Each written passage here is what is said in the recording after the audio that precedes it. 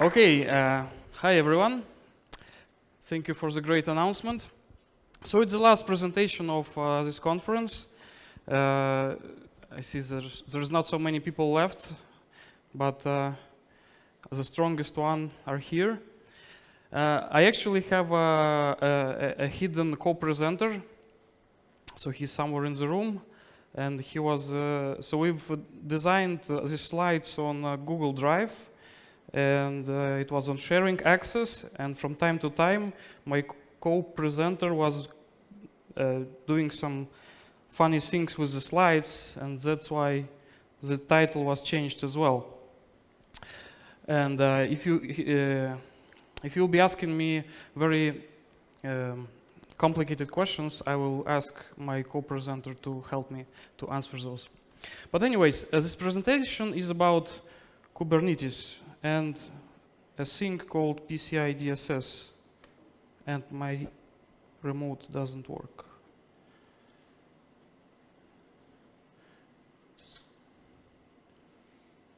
Okay.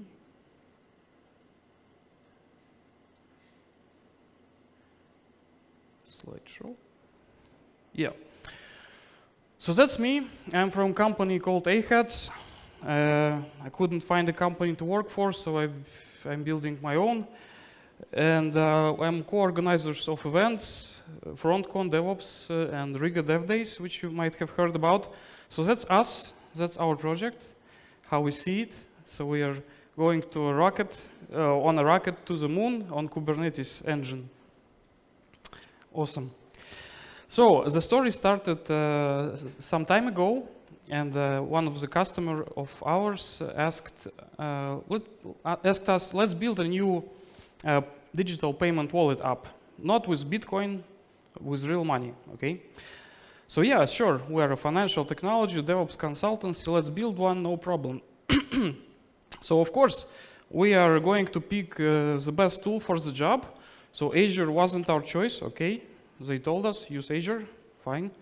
Uh, but Kubernetes and Terraform was. So we've decided to use it and used it.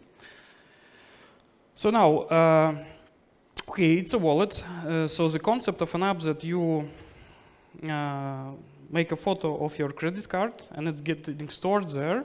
And, and then you can make payments without going through 3D Secure or other complex ways of verifications. Uh, so basically one-click payments. And, uh, but the problem is that we have to store credit card numbers, and in finance industries they're called PANs, primary account number. So we are going to store them in this pink database. And we're going to use Kubernetes and public cloud. Uh, and our customer is a bank, okay? Uh, so uh, at, at, the beginning it was a little bit uh, scary and uh, nobody really knew what we're doing and if it's gonna work at all. Because there's this problem that credit card systems may be somewhere in the top systems which are getting attacked and if uh, this data is being extracted uh, you have all credit card numbers and you could spend this money somewhere and, and, and there will be a lot of problems for our customer. Uh, and problems could be they could lose their license to operate credit cards, for example, which is not good. So we found out that there is this uh, PCI DSS standard. Does anyone work with that? Yeah, you don't count. Uh, so yeah, about five, six people. So basically, it, it, it's, a, it's a written standard around maybe the, the core document is 300 pages or so. And uh, it, it, it provides you with requirements. And there are 12 core requirements. You could read them. So they're pretty simple and comprehensible. But, but then they expand to 238 sub-requirements and, uh, and, and they're a bit longer than that, so you could see some example, examples. But still, you read them and you understand what they want from you. And the, the, outcome, the end goal is to have a bunch of auditor come to uh, your place do a penetration testing and uh, also manual audit of your system. And you have to give them uh, not only access to your web interface, but they, you have to give them access to an internal network. They will uh, do port scans and uh, any checks they want, as if some insider gives them access to this network and they could do whatever they want from inside. So that's a part of, of, of the deal. And uh, as with all standards, uh, there's a space of uh, interpretation, uh, which means that one requirement could be implemented in different ways. And the options, I would say, are you could uh, write a guideline and, uh, and give it to your employees and have dedicated people doing stuff. You could solve some issues and uh, put tick boxes on some requirements only by applying certain architectural and uh, coding practices. And of course, infrastructure and DevOps is very important in PCI DSS scope. So uh, what I mean by space for interpretation so you could do it in two ways. So you could uh, say have a full-time employee and his uh, duty would be to analyze log files every day, to scroll through them and see if everything is fine, no attacks detected, and so on. And, and some companies do that. Uh, and then this person should uh, uh, have a checklist and say, yeah, I've checked logs, all fine. Or, yeah, I found an intrusion alert, let's investigate. And Another way is to automate everything, and this is DevOps, DevOps conference. We love to automate, so we decided why don't we automate everything because we don't see any full-time people who would be doing this manual stuff anyways.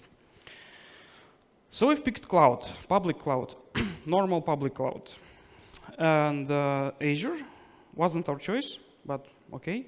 And uh, it turned out that all key cloud providers and uh, providers which are not considered as clouds, but just as um, not so cool data, uh, I mean, some traditional data centers as well, they all have some sort of PCI DSS certification. What, what does it mean? It means that uh, they have uh, taken, uh, uh they, they have implemented the requirements which are uh, mostly in number nine, restrict physical access to cardholder data. And this uh, section contains rules about video surveillance, about access chips, about uh, bars and metal cages, and, and so on and so on.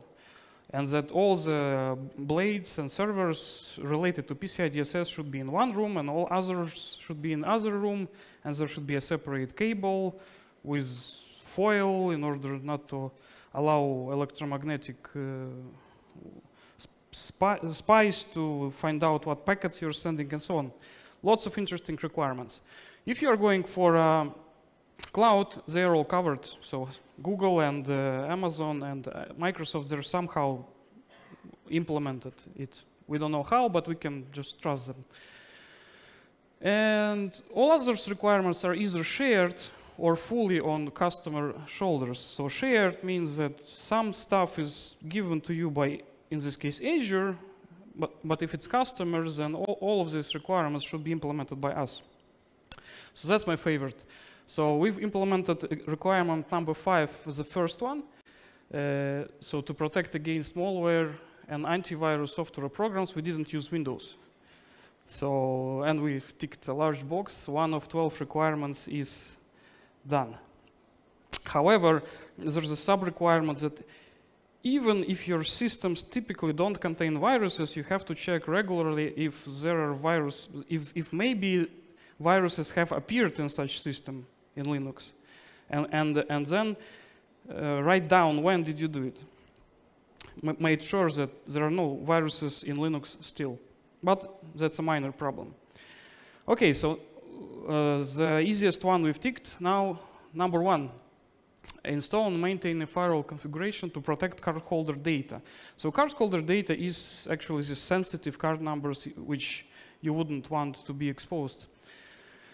I've uh, rephrased uh, the, the, requirements in a really short way, and it sounds like this. So restrict inbound, outbound, inbound traffic via DMZ, demilitarized zone, cardholder data in internal zone. Uh, all firewall strategies should be on deny, deny all policy and the employment of uh, intrusion detection and intrusion prevention software. Okay, so uh, when we read all this, so we've had this picture in mind. So we have an uh, attacker, potential attacker from internet. There's a traditional firewall. There's something called intrusion prevention, and intrusion detection software residing in DMZ. This guy could talk to on-premise systems because we need that uh, for certain integrations. And uh, in internal network zone, we have our lovely Kubernetes with uh, treasure chest of cardholder data. So, does anyone knows what IPS IDS is? One, two, three. Ah, not popular. So uh, basically, the first thing we learned about IPS IDS is that Azure doesn't support that, and we require an external tool, such as uh, Suricata. And the idea is that uh, that's a network level packet inspection tool, which analyzes packets of supported protocols like HTTP or different uh, other protocols and uh, tells what to do with this packet. P pass it, drop it, reject, or alert. So that's just an example from documentation uh, saying that we should drop TCP packets going from here to here if something is found out. Also, this uh, tool can uh, trigger alerts which you would receive as SMS or show them on dashboard or, or somewhere else, and uh, it's very optimized and open source. Uh, we are actually using a different tool, a commercial one, but we know for sure that it's possible to implement all the requirements with that open source tool as well. Okay, so we have this uh, tool which scans all the traffic and uh, your security guy uh, could uh, play with the rules and uh, find what, whatever he wants there. So next is how do we segment our network? right? So we have a bunch of um, Docker images and services inside our Kubernetes cluster. Some of them have access to cardholder data, some of them don't have. But there are certain rules that they all should be hidden, protected by DMZ, and they shouldn't leak any uh, IP addresses and incoming outgoing traffic should go through our firewall and IPS IDS tool. So th there's a concept of virtual network peering. It's not uh, Azure specific, it's, uh, it's also implemented in AWS and most probably in Google. And the idea is that you, you could have uh, two segments of your network in applications and they are completely independent in a way that uh, part on the left is residing in another cloud account and, and it has different uh, admin users and uh, part on the right has another account with different admin users and you could clearly separate who's responsible for what and then you define so-called VNet peering between two zones and in this case you have a connection connectivity between two uh, networks, networks uh, but the communication goes through private uh, cloud channels. So it doesn't go to internet, it's still inside Azure, which means that from security point of view, nothing is being exposed. And it's low latency, right? and uh, yeah, so that's virtual network peering. And uh, after that, we found out that the best solution for uh, a PCI DSS certification is so-called hub spoke network topology.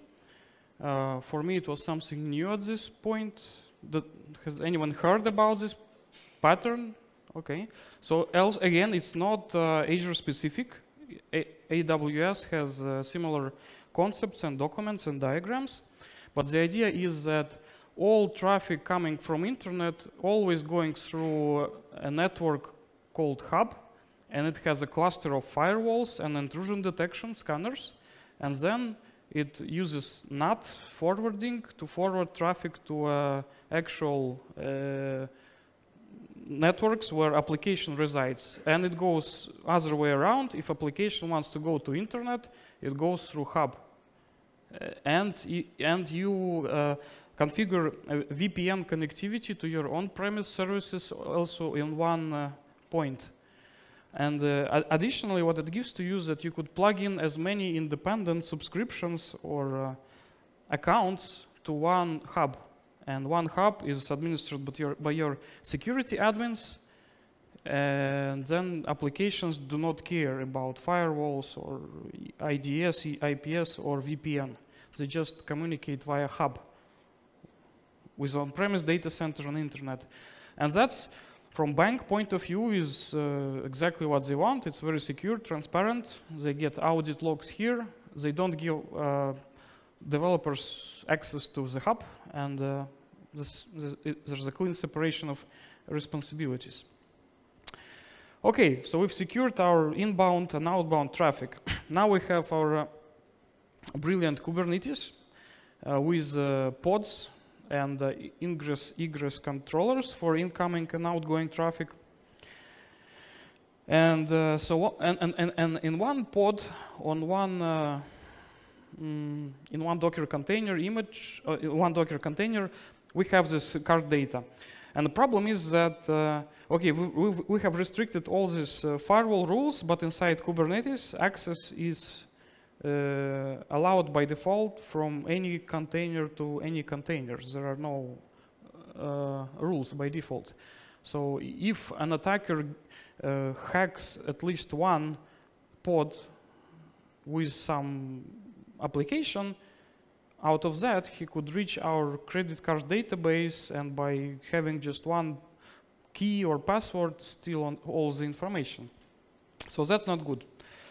Uh, if, you, if we look into Kubernetes, it's uh, already mature enough that it doesn't only uh, give you a way how to start things in, in a cluster, but also uh, supplies with a lot of security features, for example, network policies. So network policy is an API to define how pods or pod groups communicate with each other. There are different providers, so it's a pluggable API. I think by default they should have something simple. Uh, but we've used Calico. It's uh, supported by Azure and other providers as well, natively, sort of. So it comes pre-installed on, on a cluster. And we can use our favorite programming language YAML. Uh, though I've learned uh, that there was a presentation today saying that it's not uh, a favorite language anymore. and we and we can define rules that ingress it's an incoming traffic. So uh, an incoming traffic to credit cards DB, DB is only allowed from some sort of application gateway. And by doing that, we are restricting access to our treasure chest only from a certain pod based on labels or some other uh, filters. And uh, so what we did, we've uh, enabled deny all as default, and then uh, implemented all the point-to-point access rules from pod to pod to make sure that only uh, allowed uh, communication inside Kubernetes cluster could occur. And so when you first uh, start your uh, Kubernetes cluster, you maybe don't think that it's uh, really necessary. Uh, but uh, furthermore, uh, so Kubernetes is a cluster. It has worker nodes. Every worker node has a number of daemon processes, and one of them is kubelet, which is used for Kubernetes master to, to, to uh, automate tasks on this particular node. So what if an attacker could get access to a kubelet uh, API? And uh, as, as, I've been told, uh, there already were some vulnerabilities uh, this year which were fixed that if someone gets access to this internal kubelet API, which should never be exposed, an attacker could actually do something with your application. And uh, Actually, uh, there's a thing called host policies in uh, Calico, and in the same way as, as you can define um, network policies between pods inside Kubernetes cluster, you could define who could access this uh, internal Kubernetes API. For example, in this case, it's a rule taken from our productive system. Uh, we allow uh, Prometheus metrics collector to connect to uh, a kubelet and retrieve metrics. And attacker wouldn't be allowed. Okay, so that was next level. now, we were going even deeper. Uh, what if an attacker manages to put something bad inside the container and uh, deploy it on Kubernetes? In this case, uh, pod policies, host policies will, will not uh, protect us because he actually somehow managed to deploy something into a pod which could get access to our credit card database. Uh, so firstly, there's such thing as well as a pod security policy, uh, which uh, restricts um, malware Docker container from doing a lot of things on a host system. So any container is deployed on a host system, which is a real virtual machine. It has uh, shared files, shared memory, shared networking between many pods with containers. And by applying a small YAML, which is called pod security policy, you are restricting your um, pods where you deploy containers to do anything with the host VM they are not supposed to do. And again, it's not uh, uh, given you by default. By default, there's a concept of privileged container which can get access to a Kubernetes API functions. And uh, I'm not sure what is the default, but I, I, would guess that in Azure, it, this one is true, which means that you could deploy some evil container which could get access to, to, to, to a lot of stuff. And uh, then we go to DevSecOps topic. So there is a number of checks you should apply and, and, and, and some tinkering in order not to allow attacker to deploy uh, evil containers.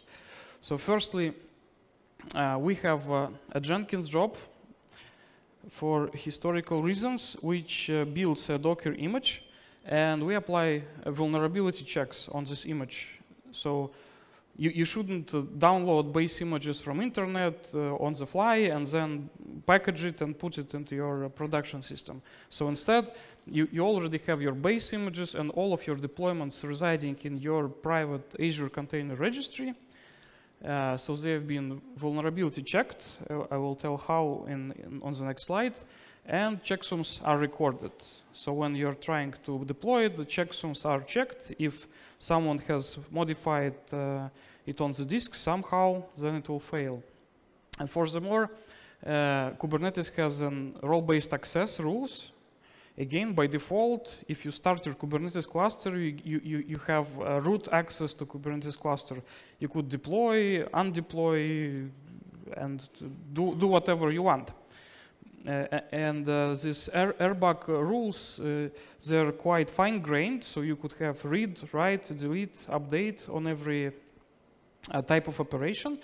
And one of the best practices, for example, is to have a separate account uh, which can deploy uh, to a Kubernetes cluster. All other accounts, including the accounts which are used by administrators, they cannot deploy to production. So they have this Uh, checkboxes ticked uh, removed. And uh, so you have to think about how many uh, different uh, access keys you should have and which access mappings do they have in order not to in, in, order to be sure that there's only one account capable of deploying to production and it's not given to anyone without a good reason. About vulnerability check, we actually found a tool called Dagda, uh, yeah, Latvians will know, but it's not Latvian tool. So it it it um, it uh, it's it, it, could be built into your CI process. It analyzes uh, uh, operating system of your uh, Docker image. It checks all the packages for registered vulnerability database, both Linux packages and some SDK packages like Python, Java packages, and also runs some sort of open source antivirus check to, to check for malware and Trojans. And it runs in CI perfectly. So uh, that was requirement number one. We have 11 to go. Uh, so we've restricted inbound outbound traffic. Uh, we're having the separate DMZ where all the communication from and to internet en ends. Uh, our cardholder data is internal zone. Every, all the firewalls and network policies are uh, switched to deny all and then allow one by one strategy. And we're using IDS IPS tool to uh, analyze traffic and to send alerts if something goes wrong.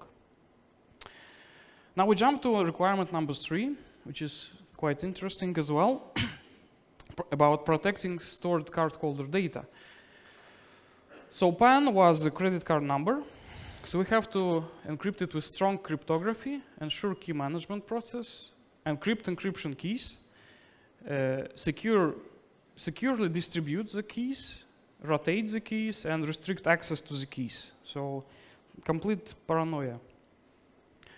And without that, you are not getting certified.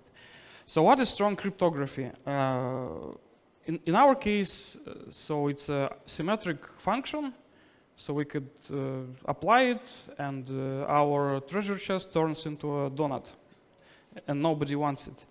But uh, symmetric encryption means that you could have a donut and turn it back into a treasure chest. And by strong requirements, AES is a industry standard, 128 bits minimum, uh, which we used in this case. So what is strong key management? So that's more interesting. So it's, it's not enough to have a password. It's not enough to have an encryption key. What, what has to be done by the book is that you have to have at least uh, two key parts which are turned into a master key by a certain mathematical algorithm. There's an algorithm to turn a chunk of keys into a master key. And uh, for example, you could have eight keys distributed, and to recreate a master key, you should have only four out of eight, whatever which ones. And there's this master key in finance called key encryption key, KEK, and it's used to encrypt data encryption key. DEK. And data encryption key in turn is used in order to turn treasure chests into donut. And all of the keys uh, should be rotated from time to time. So that's how it should work in, in, in, in uh, if you want to store uh, credit card systems and auditors don't really care how you do it in software, hardware, whatever. So we've used HashiCorp Vault, which I'm pretty sure you've heard about. So it's an open source encryption as a service tool. Uh, so we've managed to keep it open source and not to go for enterprise license. So that's for some rare cases. And it provides you with uh, public key infrastructure. You'll be able to generate key pairs and uh, manage them from user interface and revoke and so, so on. It gives us key value store, which we used to store credit card data time-based tokens. So the ones uh, uh, like Google Authenticator uses uh, same algorithm as, as Vault gives to you. So if you want to build your own Google Authenticator functionality, so this, this guy can, can, can uh, give it to you securely, and some other functionality. And it provides strong key management and encryption.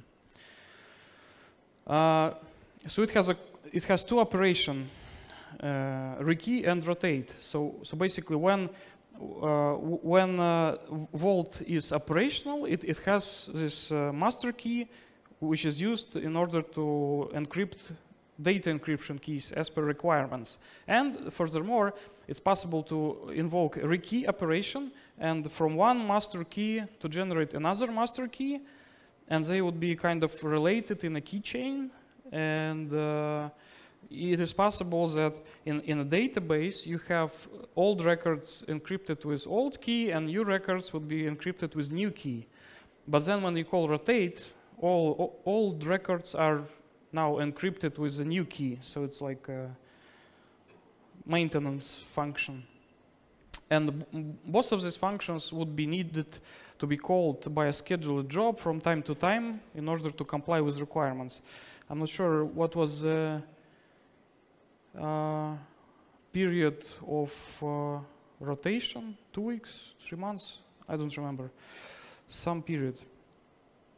Okay, next. Uh, so we download Vault, we start it, okay, and uh, it's, it's in so-called sealed state. Sealed state means it's not functional. It doesn't know how to encrypt and how to decrypt. And in order to uh, unseal it, by their terminology, we have to provide these key shares, uh, which compose into one master key. And furthermore, we have a vault in a cluster, and Vault itself, it doesn't have any persistence. So uh, it works on a lot of uh, uh, databases, on top of a lot of databases, for example, on, on top of PostgreSQL.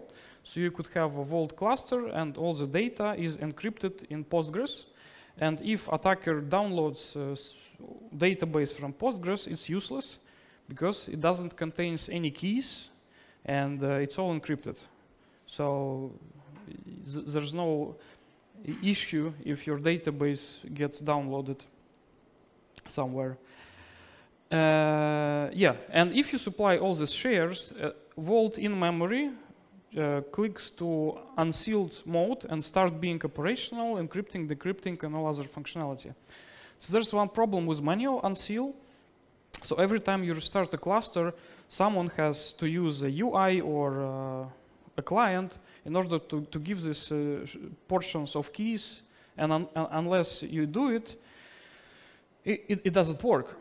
And key shares should be protected at all uh, as well. And uh, by PCI DSS requirements, there should be at, at least two uh, key, key custodians. So there has to be two real person, uh, and each of them is having a, a, portion of the key. and since one of them could uh, be sick or, or, or, fired or something, it's better to have a, a bit more uh, key portions in, in organizations. and then if your cluster restarts, you have to run and find these guys and, and girls so they input these key portions so Vault is uh, operational. So that's a problem. And uh, it, it's possible to automate it as well. There's uh, auto unseal functionality in Vault, and uh, it requires one more element of the puzzle. In our case, Azure Key Vault. So Azure Key Vault is a cloud solution which generates keys, securely stores them, allows access to them for uh, Azure portal users and CLI users, and provides uh, usage monitoring. So it actually logs when someone downloads a, a, key. And you could also revoke them automatically. And it ended up like this. So we have an Azure Key Vault where we have given access to only trusted administrators. It generated key portions. We have uh, a library, we're using a library called Bank Vaults, which is open source. It, it is able to retrieve these key portions, uh, feed it to Vault cluster, and by doing that, it starts working. And if it starts, if it started working, then we could ask uh, Vault, uh, give me an actual credit card number for this identifier. Uh, unle unless it's not working, well, when it's not working, we so all of our credit card numbers are encrypted somehow. Nobody knows how, and you cannot access them. And then it's uh, out fully automatic, and uh, it, it, it's starting itself. So that's how we've uh, checked all the boxes of requirement number three. So how many? Yeah, nine more to go. But actually, no. Uh, so we, we're we're wrapping up here. Uh, so big news. Uh, I've been allowed to share uh, the name of the project we've worked uh, in.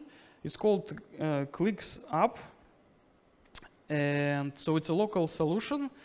And the website was launched yesterday And uh, so now it's in a so-called silent beta testing mode, but I guess in a month or so, it would be possible to start uh, making uh, real purchases. Uh, yeah, if you're interested, you could come to me and I'll, I'll explain what it is, but basically it's how you do payments, shipments, and, and some other interesting stuff online from an app without a need to go through uh, 3D secure verification procedure of your bank. So there will be a PIN code like in Smart ID and similar solutions. Yeah, so uh, a summary. There's a lot of security features in Docker, Kubernetes, and cloud. Uh, we've uh, learned quite a lot uh, uh, about it, and uh, so it's it's a completely different uh, mindset when you start thinking about those. So actually, no one in even organization such a bank is against Kubernetes and cloud for even such um, mission critical and security intense project. Auditors are fine as well. And standards actually, they force you to do all the best practices from the day one, because if there wouldn't be any standard, I'm pretty sure we would be hacked uh, after the launch. And DevOps uh, actually, and DevOps tooling helped a lot, because all, all of the requirements except guidelines and some uh, procedures we had to write in, in, in Word file, all the operational and uh, architecture and deployment stuff, everything is 100% automated. And we've managed to find uh, all the solutions to tick all the boxes. And uh, sometimes we used preview features of Azure, but uh, suddenly they, they, they, came out, out of preview and became uh, stable, sort of. And uh, so it all works. So we just need to launch it in a month or so. And that's it for my presentation. I. Uh, Thank you. Thank you. All right, ladies and gentlemen, we got a couple of questions. Uh, so, uh, uh, Dimitri, ready? Yeah. First one. How cloud providers guarantee the hardware attacks not happen like the Meltdown, Spectre, etc. Uh, that one. Yeah. Oh. Yeah, that one. As they, they keep changing, right? Yeah, yeah, probably something uh, just happened and I ah. haven't refreshed it yet, so yep. But yeah, let's go with this one. It's pretty viral. Okay, let's, okay. How uh, we need to clarify this. Who, who wrote the question, please? Okay, can you help us out with it?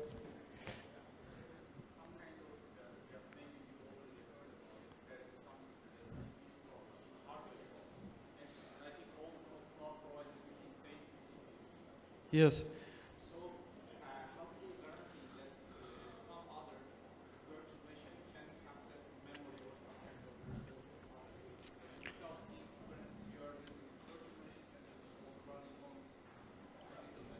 Mm-hmm. Uh, they guarantee. We don't know how, and maybe they don't do it, but uh, it's a question of liability whose fault it is.